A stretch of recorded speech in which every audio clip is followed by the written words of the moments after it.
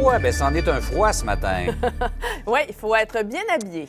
Oui, ce matin, c'est assez frisqué, refroidissement éolien avec des risques d'engelure. On a environ du moins 32, moins 30, je dirais, pour la majeure partie du Québec. Quoi qu'à Montréal, c'est plutôt agréable ce matin. Bon, je sais, vous trouvez ça froid, oui, euh, vous aussi, Jean-François Audrey, mais quand même, grâce aux nuages qui se sont invités par surprise, on freine cette chute des températures. Donc, ce matin, c'est un peu plus agréable au sud du Québec. Ailleurs, il y a des risques d'engelure.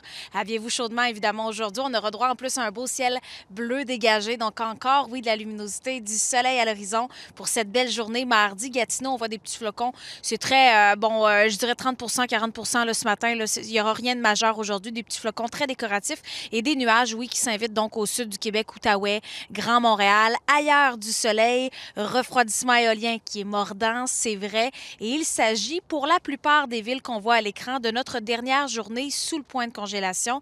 Dès aujourd'hui, d'ailleurs, l'Abitibi-Témiscamingue aura droit à une certaine hausse des températures, disons. Ce matin, vous avez du moins 32, moins 35, même par endroit, mais moins 4 degrés, Rouen-Noranda, Val-d'Or, comme on vous a montré, c'est déjà au-dessus des valeurs saisonnières. Donc, plusieurs villes vont se retrouver au-dessus des valeurs saisonnières aujourd'hui. Demain, au-dessus du point de congélation, Montréal, on le voit, 2 degrés.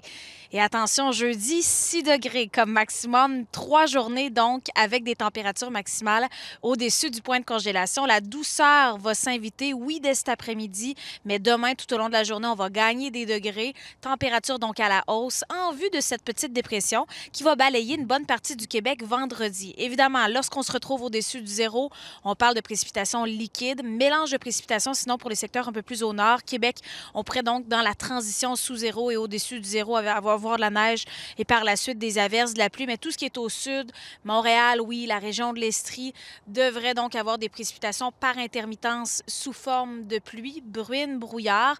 Heureusement, pas de grandes accumulations d'eau et c'est une très bonne nouvelle parce que rapidement, dans la soirée, la nuit de vendredi à samedi, nous allons perdre une vingtaine de degrés. Donc, tout ce qui aura tombé de façon liquide pourrait geler au sol. C'est encore loin, c'est à voir, mais la météo vraiment est en dents de six niveau température. Des montagnes russe cette semaine, effectivement. On ne pourrait pas avoir juste un moins 4, moins 5.